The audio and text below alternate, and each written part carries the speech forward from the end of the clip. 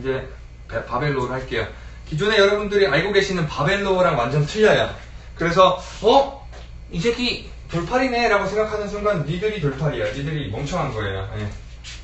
그러니까 아 이런 운동도 있구나 라고 생각하시고 배울 생각하셔야지 자기랑 틀리다고 해서 상충된다고 해서 10위부터 거시는 분들은 운동 한참 더 많이 배워야 돼요. 말씀했다시피 운동은 만든 거예요. 운동법은 다 만든 것이기 때문에. 자, 펜들레이 바벨로인데요. 어, 네, 기존 거보다 완벽하게 틀린 자세법으로 진행을 하고요. 게다가 이것을 하시는 분들에게 좀 유익점도 다 틀려요.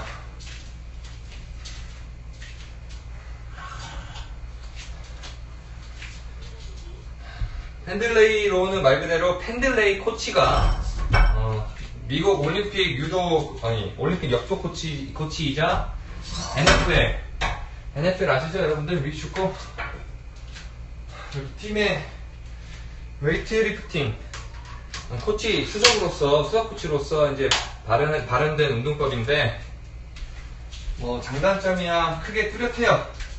장점은 어 이제 기존에 있었던 바벨로 종류에서 가장 크게 후면사슬 개입과 더불어 코어 발달에 가장 도움이 되는 운동이고 자극을 위해서 하는 것이 아니에요. 말 그대로 그 코치는 역도랑 NFL을 했기 때문에 바디빌더식 그러니까 막 자극성 운동이라든지 근비대성 운동에 아, 좀, 좀 뭐라 그럴까 어울리지 않는 분이세요. 그래서 이 운동을 하시는 분들은 따로 근력 운동을 하시든가 어떻게 해야지 빛이 좋지? 이렇게 해야 되나?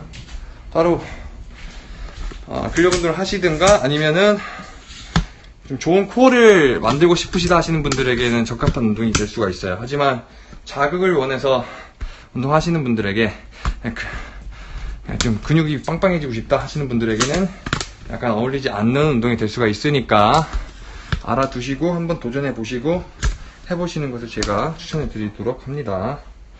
잠시만요.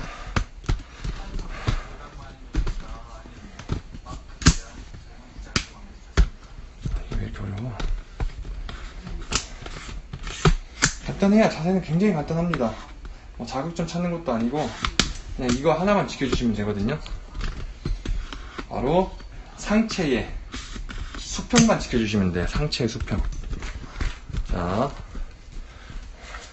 자, 보이시, 보이시죠? 상체의 수평입니다. 뭐냐면 자, 기존의 바벨로 같은 경우에는 이제 한 요 정도로 올려서 이렇게 올리실 거예요. 그래서 광배근에 더 많은 이제 자극 부하를 좀 뒀죠. 하지만 이제 여러분들이 거, 그러니까 상체가 수직이 되면 될수록 우리의 후면 사슬 개입이 덜해요. 그러니까 별로 그렇게 큰 부담이 안 돼요. 하지만 여러분들 무엇을 주스라고 할 때 허리가 아예 한 적 있죠? 그 말대로 상체가 우리 지평과 지면과 수평이 되면 될수록 어마어마한 부하가 바로 우리 후면 사슬에 들어가는데 그 중에서도 취약점이 바로 척추기립근 여기 요추라 그러죠. 여기 근육이 자상을 많이 당하세요. 그래서 이 운동은 어, 그럼 위험한 거 아니에요? 라고 말할 수 있지만 이 운동을 천천히 초보자급으로 초보급으로 천천히 이제 훈련을 하시다 보면 말 그대로 약점을 강점으로 만들 수 있는 그러니까 오히려 여러분들 허리 부상이라든지 여러분들 코어 복원이라든지 허리 굉장히 건강한 허리를 만들 수 있어요.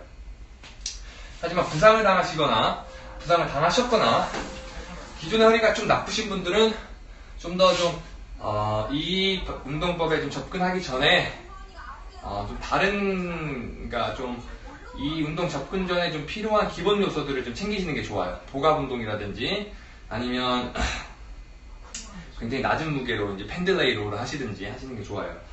자, 일단 완벽한 수평을 하셔야 돼요. 그러니까 대퇴 이두근의 유연성도 좋으셔야 돼요. 만약에 대퇴 이두근이 안 좋으셔서 이게 유연성이 안 좋으셔서 이런 식으로 되게 되면 가동 범위가 너무 짧아요. 팔이. 그쵸? 이 정도밖에 안 되죠. 근데 좀 더 좋으시면 멀기 때문에 더, 더 멀리, 아니 더, 뭐야, 많이 잡아당길 수가 있어요. 그리고 유연성이 나쁘게 되면 무게가 들어기, 들어갔 기 때문에 부상이 더 시- 심하게 다칠 수 있어요. 그래서 유연성을 꼭 길러주시고요. 어, 무반동입니다. 예, 무반동이고 이제, 이제 완전 이완, 완전 수축을 하셔야 돼요. 그러니까 대개 보면 바벨로 하시면 쇼더 패킹이라 해서 견갑골을 고정한 상태에서 이렇게 잡아당기잖아요. 근데 이건 그게 아니에요. 완전 내려놓는 거예요. 견갑골을 뒤에 있는 날개뼈가 완전 이완. 이 상태에서 견갑골을 잡아당기고 그 다음에 광배로 당기고 최대 수축 다시 최대 이완. 그래서 바벨 이 바벨이 땅에 닿게 돼 있어요. 그러니까 펜들레이 row 저 오늘 영상을 보시면 다 내려놓은 상태에서 올리고 퉁 다시 놔요. 데드리프트처럼. 그러니까 내릴 때에 내릴 때에 그 신장성 수축은 필요 없다고 보거든요. 이곳에선. 근데 뭐 여러분들 당연히 헬스장에서 쿵쿵 놓으면 안 되니까 여러분들은 소리가 안, 나, 안 나게끔만 조절해 주시면 돼요.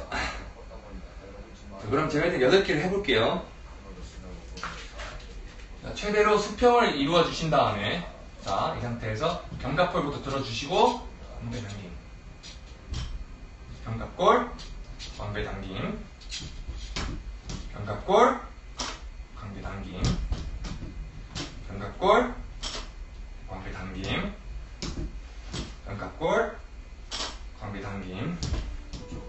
견갑골 광배 당김 견갑골 광배 당김 이런 식으로 운동을 해주시는 거예요. 엄청나게 허리에 부하가 들어가, 들어갈 거예요. 해보신 분은 아시겠지만 하지만 제가 제일 좋아하는 록 운동 중에 하나라서 여러분들에게도 추천해주는 바입니다. 오케이?